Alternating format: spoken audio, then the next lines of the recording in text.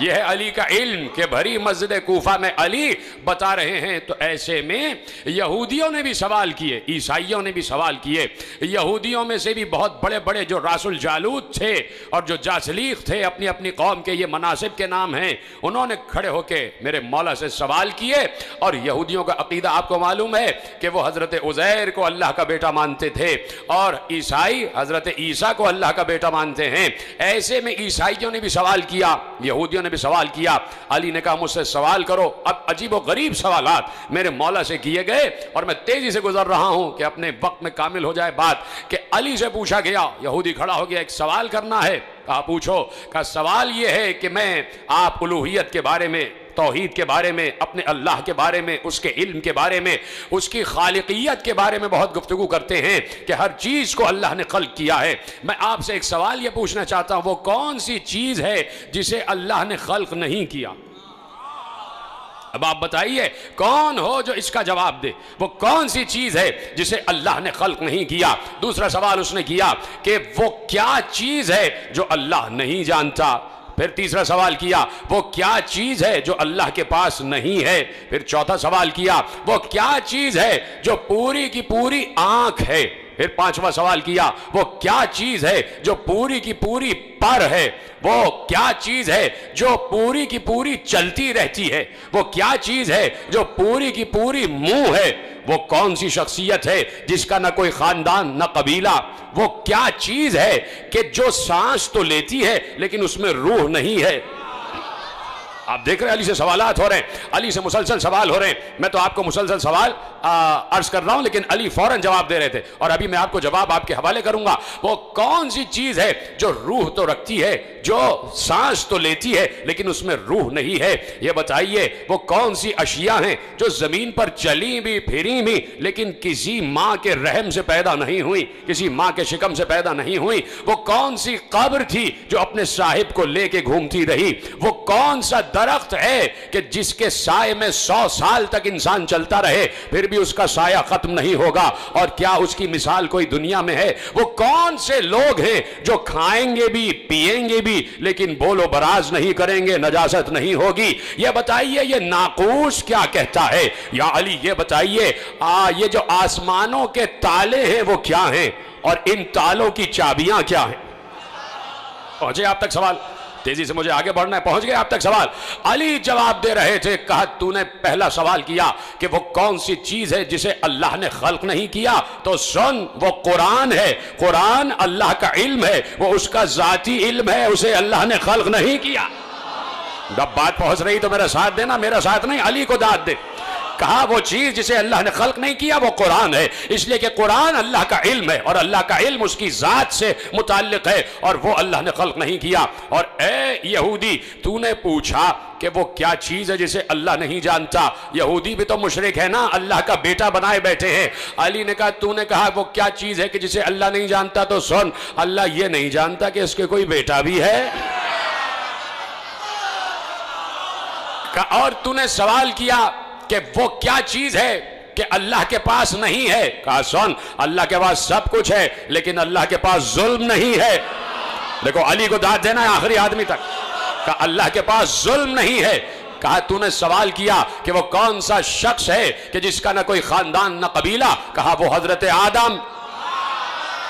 देखे, अली कैसे जवाब दे रहे तूने सवाल किया वो कौन सी चीज़ है जो पूरी की पूरी आँख है, जो पूरी की पूरी आँख है? कहा, वो सूरज है। सलामत रहे। कोई अली के अलावा जवाब दे सकता था? कहा, वो कौन सी चीज़ है जो पूरी की पूरी आँख है? कहा, वो सूरज है। और सुन ने सवाल किया, वो कौन सी चीज़ है जो पूरी की पूरी मुँह है? मुँह है। कहा, वो आग है। हर चीज़ को खा जाती है। हर चीज़ को खा जाती है। कहा, तूने सवाल किया, वो कौन सी चीज़ है जो बस चलती ही रहती है? कहा, वो पानी है। रुकता नहीं है। कहा, तूने कहा कि वो कौन सी चीज़ है जो पर ही पर है? कहा, वो हवा है, उड़ती ही रहती है। तवज्जो है आपकी, अली जवाब दे रहे हैं, अली जवाब दे रहे हैं। और आपको फख्र है अली पर तो बोले जाओ, अली जवाब दे रहे और तस्वुर करो कि तुम भी बैठे होते और अली जवाब दे रहे होते। तो मैं और तुम कितनी दाद दे रहे होते अली को? हम तो खड़े होकर रक्स करने लग जाते। हम तो अली अली के नारे लगाने लग जाते। है कि नहीं? हम और आप बैठे होते, अब सोचो सलमान का क्या आलम हो रहा होगा।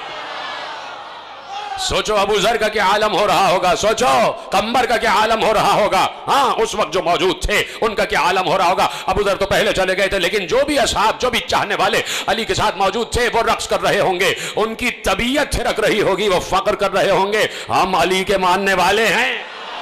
हम इस आलिम के मानने वाले हैं कि जिसने कभी भी इस्लाम को इस्लाम को कभी भी जिसने पस्त नहीं होने दिया, इस्लाम को कभी भी जिसने शर्मिंदा नहीं होने दिया, कहा वो चीज़ कि जो हर वक्त चलती रहती है, वो पानी है, जो पर ही पर है, वो हवा है, वो उड़ती ही रहती है, जिसका कोई खानदान कबीला नहीं, वो आदम है। सुनो, तूने सवाल किया कि वो कौन सी चीज़ है, वो कौन सी चीज़ है जो सांस तो लेती है, लेकिन उसमें रूह नहीं है। कौन जवाब दे इसका? जो सांस तो लेती है, लेकिन रूह नहीं है। अली ने कहा, मेरे ही मेरे ही नबी के कल पर जो कुरान नाजिल हुआ, उसमें अल्लाह ने कहा, वह सुबह इरा तनफसा मुझे सांस लेती हुई सुबह की कसम। सलामत रहे आप। वह सुबह इदा तनफसा। मुझे सांस लेती हुई सुबह की कसम। कैसे अली जवाब दे रहे हैं? आओ अली से सवाल करो। अपनी दानिश में कोई मुश्किल तरीन सवाल भी हो। मिंबर पे मुश्किल कुशाही तो बैठा हुआ है। मिंबर पे मुश्किल कुशाही तो बैठा हुआ है।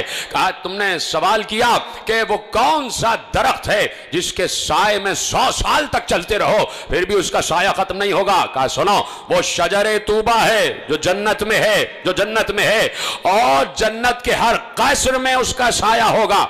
यहूदी ने कहा, या अली, इसकी कोई दुनिया में मिसाल है कि दरख्त एक और इतनी वसी जन्नत के जिसकी कोई हद नहीं है? हदूद नहीं है जन्नत की। इस दुनिया की कई दुनियाएँ, इतनी बड़ी जन्नत का एक दरख्त, और जन्नत के हर घर में उसका छाया। या अली, कोई उसकी मिसाल है? का तुम्हारे सामने ही तो है। सूरज एक होता है, पूरी दुनिया के हर घर में उसकी रोशनी जा रही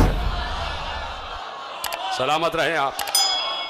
का सूरज एक होता है और जब तुलू करता है, दुनिया के हर घर में उसकी रोशनी जा रही होती है। कहा, या अली, ये बताइए कि वो कौन लोग होंगे जो खाएँगे, पिएँगे, लेकिन नजाशत नहीं करेंगे? कहा, वो जन्नत में लोग होंगे जो अल्लाह की नेमतें खाएँगे भी, पिएँगी, लेकिन कोई नजाशत नहीं होगी। उसने कहा, दुनिया में इसकी कोई मिसाल है? कहा, है। नौ महीने बच्चा माँ के शिकम में रहता है, खाता भी है, पीता भी है, नजाशत नहीं करता।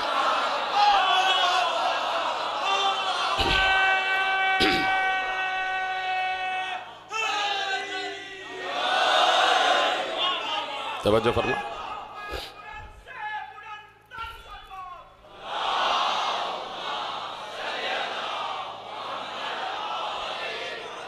तूने सवाल किया, वो कौन सी कब्र है जो अपने साहिब को लेकर घूमती रही? सुन, वो मछली है कि जिसने यूनुस को अपने पेट में और यूनुस को समंदरों की सैर कराती रही? वो मछली है। कहा कि, तूने सवाल किया, वो कौन से जी नफस हैं कि जिन्होंने खाया भी, पिया भी, लेकिन किसी माँ के शिकम से नहीं पैदा हुए? कहा, आदम हवा असाय मूसा, सालेह की ऊटनी और इस्माइल की जगह जो दुम्बा आ गया। कहा, ये किसी माँ के शिकम से पैदा नहीं हुए? कसन तूने सवाल किया, आसमानों के ताले क्या हैं? आसमानों के कुफल क्या हैं? आसमानों के ताले क्या है? कसौल आसमानों के ताले हैं शिरक। अली अली जवाब दे। इस पे तो आपको भड़क जाना चाहिए था, इसलिए कि अली ही तो तौहीद का बचाने वाला है। कहा, आसमानों के ताले हैं शिरक शिरक शिरक करना आसमानों के ताले। इसलिए कि अगर कोई मुशरिक होगा, उसकी दुआ आसमानों तक नहीं जा सकती। अली का जुमला है। कहा, जो मुशरक होगा, उसकी आह, उसकी दुआ आसमानों तक नहीं जा सकती। आसमानों के ताले हैं शेर और कहा, तूने पूछा, इन तालों की चाबियाँ क्या है? तो सुन, इन तालों की चाबियाँ ना सोने की है, ना चांदी की है। इन तालों की चाबियाँ हैं, ला इलाहा इल्लल्लाह मोहम्मद रसूलुल्लाह।